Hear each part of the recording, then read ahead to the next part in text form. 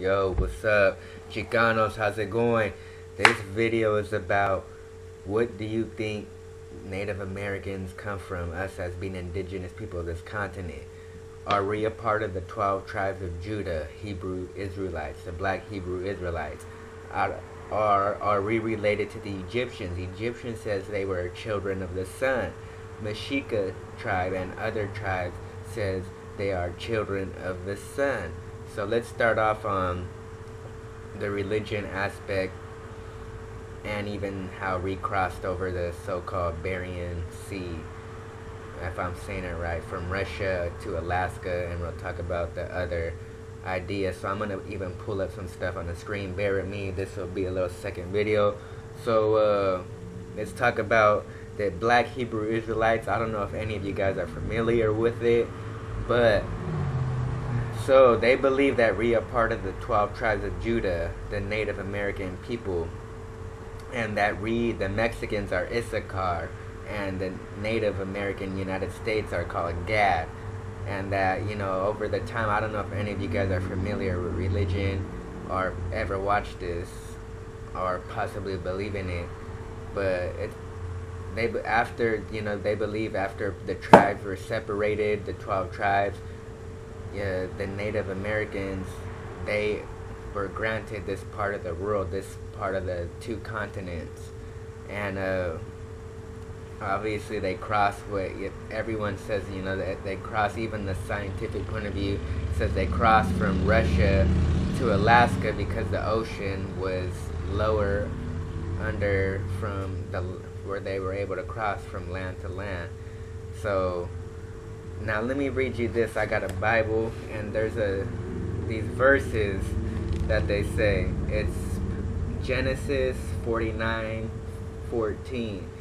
Uh, verse 14. Issachar is a raw bone donkey lying down between two saddlebags. When he sees how good is his resting place and how pleasant his, is his land, he will bend his shoulder to the burden and submit to forced labor. So, meaning, uh, when he sees how good is his land, is his resting place, and how his pleasant is his land. So, I don't, I forgot, I don't know if that's meaning because it is his land, our land. They did break it down we're seeing our own land how good they made it because Mexicans are the raw bone of the United States.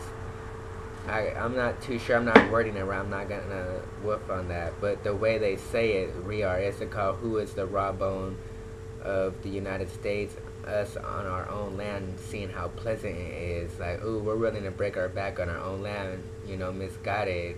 You guys know basically understand on how our people are come and work here.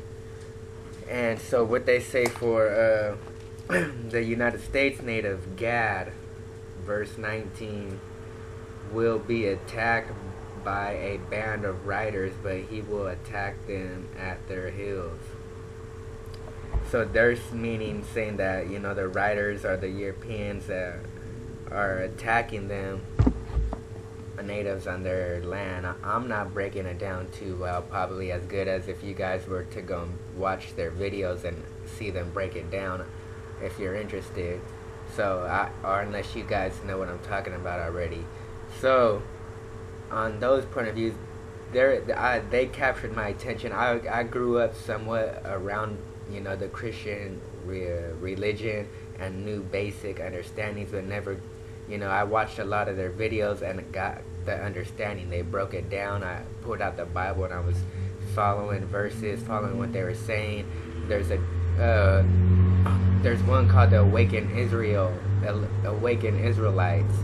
Look up their channel. That's the one I happen to find and like. Watching a lot of groups, different groups, but they're all pretty good. That was just one. Uh, I'll say you should look up Awaken Israelites. They're a New York crew. Uh, so. Uh, look into that. Uh, so, and then, you know, it's just interesting, you know, on the religion aspect. So that on them believing that we are the same people as them. So they believe that you know, they're the black Hebrew Israelites believe that they're the real Jews and they're separate nation from the black Africans. It's not about race, it's about nation. And we are a part of that nation, Mexican, Native Americans, of the true uh, Judah, Judaism nation, Israelites. We're the, we're, we're, we're the true Israelites ourselves. And we're in the nation with them. It's not about them being African because they're a separate nation. It's not about race. And uh, the white man who is Esau and all the like real Indians and Asians, they're the Edomites. They're not a part of the nation. We're the chosen people basically. So we're a part of the chosen people of religion, as they put it, us Mexican. Some of the who knows, maybe separate tribes still. Uh, and I got a whole other thing on that, like in, you know, to me, um, what I think, but they believe that, and it's interesting though pretty interesting. I look into that. And then there's also, so some of you guys know that the Egyptians say that they're children of the sun, and so does the Mexica and various other tribes relate to the sun, being children of the sun. And if you believe that the Egyptians came across, uh, came across the Atlantic Sea and taught the Olmecs how to build, uh, civilization. Uh, but this is, let me just, oh, this was something real quick that I found a 250 million years old footprint that's in New Mexico. This is what it looks like. It's on the wall. It's dated 290. This was found in 1987. Uh, just to show, it's on here. You guys should look it up. Look into that. It's really short and it's true like no one can debate that it's not because it's really this is i guess in the wall it's dated 290 50 to 290 to 250 million years old. They dated back. No one could debate that it's fake. Like they got people puzzled on it. Uh, pretty interesting. Here in north america new mexico uh,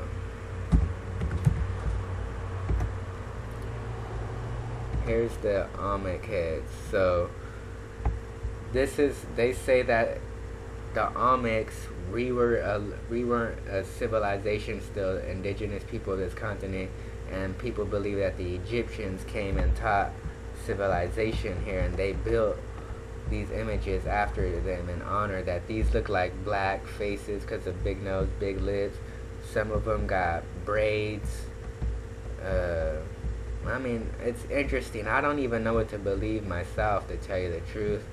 I mean, I'm pretty puzzled on it. Oops. Uh, to tell you the truth, I'm pretty not sure what to believe myself. Uh, I don't know what you guys, let me know what you guys believe. Do you believe that everyone just came across the uh, from Russia down? Or do you believe that uh,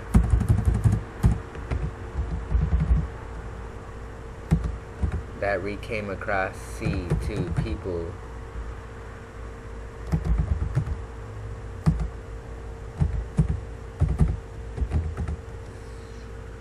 Sorry guys, let me get this trying to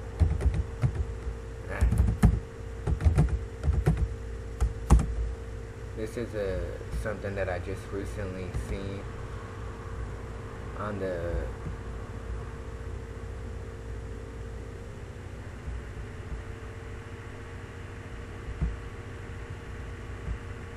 There we go.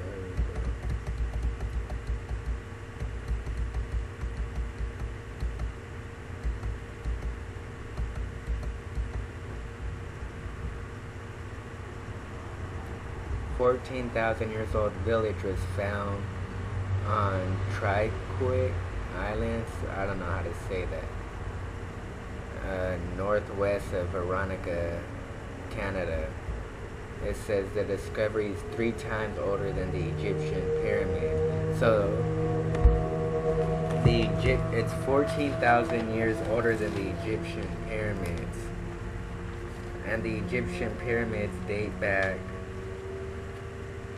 Uh, let me see if I can find the oldest pyramid in Egypt. Dates back 2,668 years, if that's correct. So this village dates back 14,000. So that's 10,000 years older. This and the oldest village in South America dates back to four or five hundred years older than Egypt, or about the same as Egypt.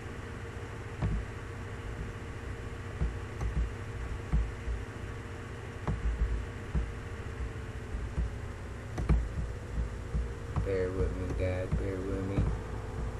Thank you.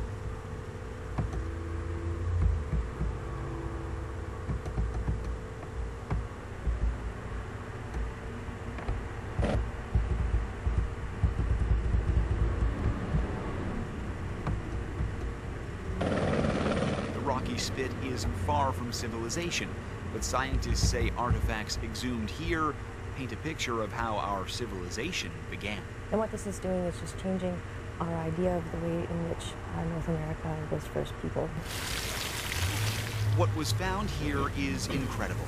Tools for lighting fires, fish hooks, and spears, all dating back 14,000 years. The discovery leading experts to believe a large human migration may have occurred on BC's unfrozen coastline. Wow. So what do you believe? Do you believe that everyone just came across from Russia to Alaska down and filled the continents, the two continents up? Or there's also scientists, archaeologists, historians, etc that believe that people traveled from Africa or of already Asia the, this way before by sea, especially from Africa, the east coast of it, down like this. But people, especially with that new finding, that video that I just showed you, if it was the village was found west, northwest, right here. So that would show that if this is the oldest village, then I guess, I don't know, then that's how we possibly did come over here. Everybody, but the it's older than any village than possibly found here in South America. Because the oldest village for South America dates back 3200 BC, 200 years before Kemet, which is known as Egypt.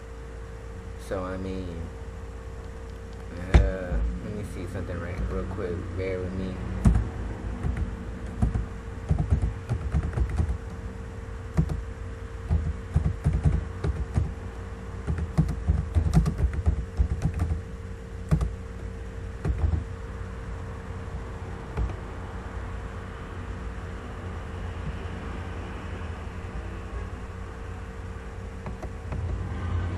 Let's see, South America, Peru, oldest European found city in Peru. Uh, what is the oldest city in North America? Uh, that doesn't make sense.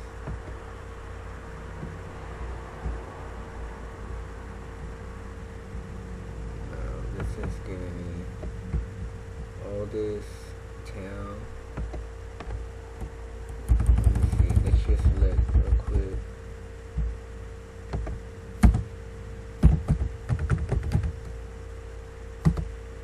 Oldest.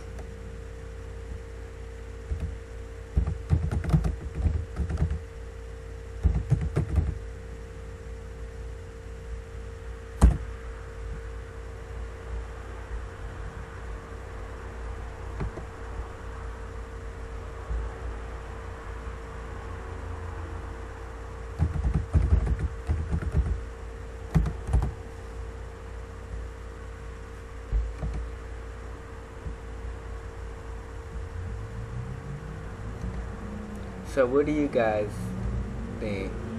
Let me know what you guys think.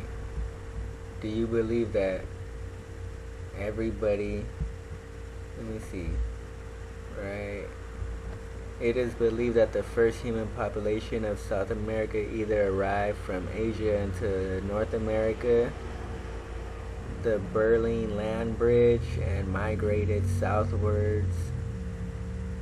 The earliest generally accepted archaeologists evidence of the human habitation in South America 14,000 years ago, the Monte Verde site in southern Chile. The descendants of these first inhabitants would become the indigenous population of South America. But that doesn't make sense. In a way, like if that village is that I just seen in is 14 or uh, 14,000 years old. I mean, does it take that long for people to travel? I mean, from it wouldn't if the if they 14,000 years ago were crossing, then I mean, 14, they made it all in one, they couldn't have made it that fast in South America. But what was the other one? 15,000. So 1,000 years for from them to travel from Canada, where that village was at. 15,000. So it took them 1,000 years to travel to Monteverde, Chile then if I'm correct. If you guys understand what I'm saying about that.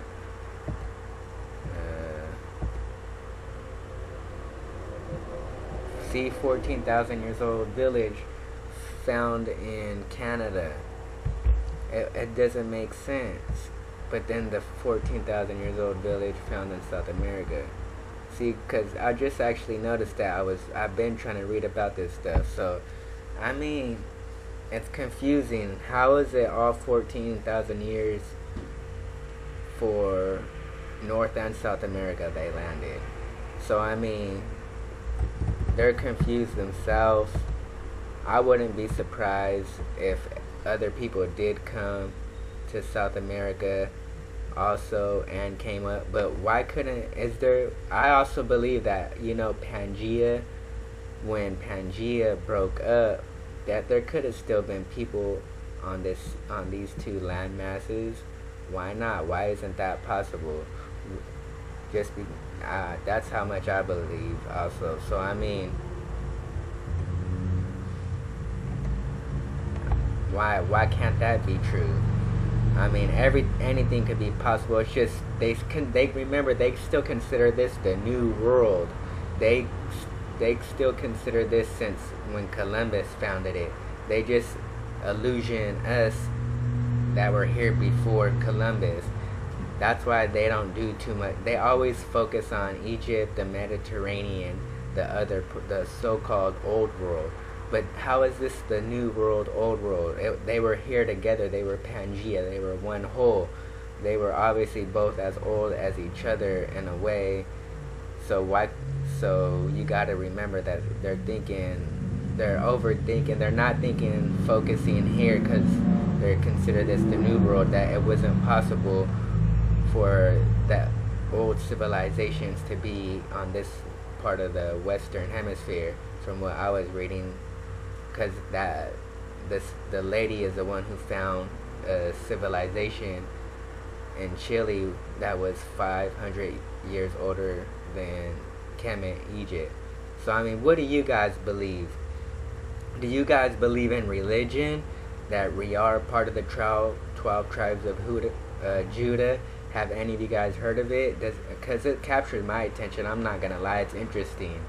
Or do you guys not, have you guys ever heard of it? Look into it. If you're not, if you're into religion, look into that point of view. Uh, or if you're you are a part of it and you watch this, let me know. If maybe you do believe that the Egyptians uh, taught the Olmecs and we are in a relation of being the children of the sun, uh, because I know the Mexica movement don't believe that they were taught by Egyptians, but I never seen them break a video down on what they believe in, on you know who they believe like you know we could have uh, or we, it was just natural in people to build civilizations, so, and they had it within them, and it, people you know we had people back in the days and had people with big lips and big noses. And for the religion point of view also you know are uh, not even a religion. They say you know people still have when the people crossed they still had that culture in them to build civilizations from being on the other part of the world of Hebrew Israelites or Egyptians because they were already building and they were able to carry that on and grow it here on this part of the world. Or they were or you know people were traveling by sea which i don't see how is that not possible. So you i mean what do you guys think? What do you guys believe? Let me know. Leave your comments. Give this a like. Show some love. Give it a like. I want to definitely hear your comments on that. Tell me if you ever heard about it. So i mean good looking chicanos. Stay up. Stay smart. Get your thoughts straight and uh you know, be cool, because that's all I could do. Just stay positive and productive, keep that uh, positive energy and aura at all times, no negativity.